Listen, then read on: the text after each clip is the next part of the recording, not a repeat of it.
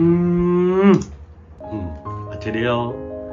刚刚有提到一个后悔这件事情啊，我做广告做了三十年，我常常就会有做市场调查。有一次我们到呃养老院的时候，去跟几个八九十岁的人聊天，然后他们都对我说，呃，记得不要让自己后悔。我就开始思考，我后悔了什么？十七岁的那一年，我很想画画，然后也想当个画家，但那时候被家庭阻止，所以我就放弃。接下来，呃，就开始思考什么样的东西可以让我跟画画类似，然后又可以呃赚钱，所以就做了广告。广告这个行业呢，它跟艺术也有点关联，它必须要跟艺术、音乐、摄影，呃，一起做合并的。那就这样从，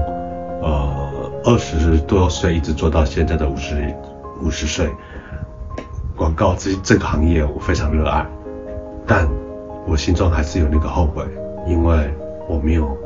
做我想梦想中想当的画家，所以在五十一岁我改变了一切，我告诉我自己我要做一件我想做的事。